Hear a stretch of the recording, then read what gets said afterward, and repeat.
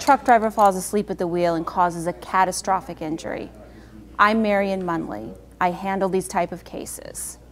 In this case that I handled, a truck driver was not following the federal regulations, was driving over hours, was on the road furthering the business of the trucking company when he ran into and barreled over an elderly man on his way to a flea market.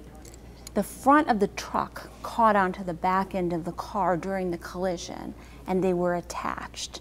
It was so bad that the truck was trying to get rid of the car so that it could take off. Unfortunately, the car was unable to be um, disconnected from the truck, and when it was, it was pro propelled into a bridge abutment and it caught fire.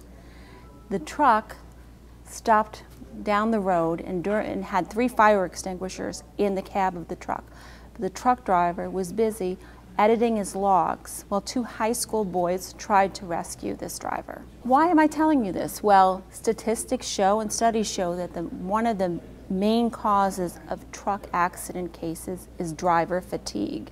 And why is that? Because drivers on the road too long, they're not following the regulations and they are not being looked at by their companies. They're not being monitored. So there are drivers out there that are falling asleep and causing catastrophic injuries and deaths, heartache and loss to families, all because they don't follow the rules.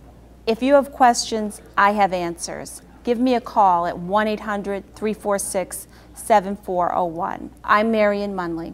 Thank you for watching.